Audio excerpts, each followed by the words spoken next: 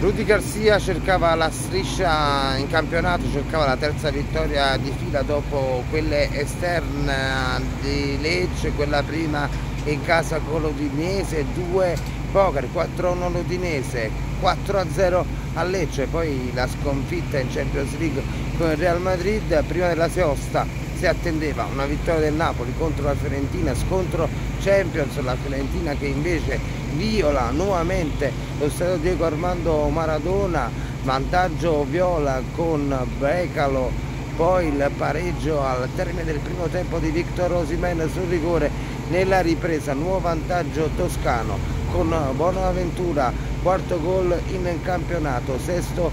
gol al Napoli, la sua vittima preferita, non aveva mai segnato ai partenopei però in maglia viola. E poi sul finale di gara anche il terzo gol gigliato lo segna Nico Gonzales l'argentino. Marca male per eh, il Napoli discutibilissimi i cambi. Gli azzurri che nel primo tempo hanno perso anche eh, Frank Zamban chissà per infortunio per la seconda volta in stagione. Ricordiamo che si fermò a cassette di sangue e fu recuperato in extremis per la prima partita col Frosinone. Rudy Garcia um, si è detto responsabile della sconfitta di questo um, momento del Napoli che quando alza il livello perde, lo dicono i fatti con il Real Madrid, con la Fiorentina e prima con uh, la Lazio. E, oh, scivola nuovamente a meno 7 dalla vetta, i campioni d'Italia così dopo 8 giornate di campionato alla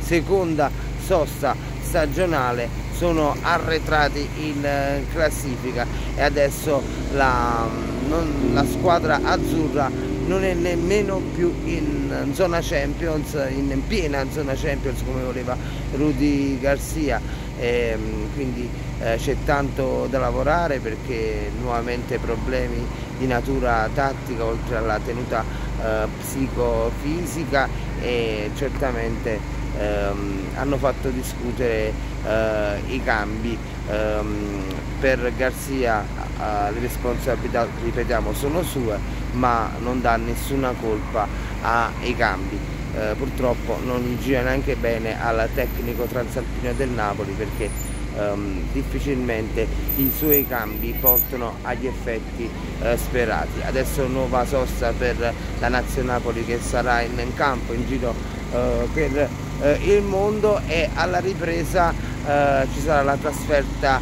di Verona eh, di sabato, sarà il match del Bentegodi ad aprire il nono oh, turno, eh, ricordiamo che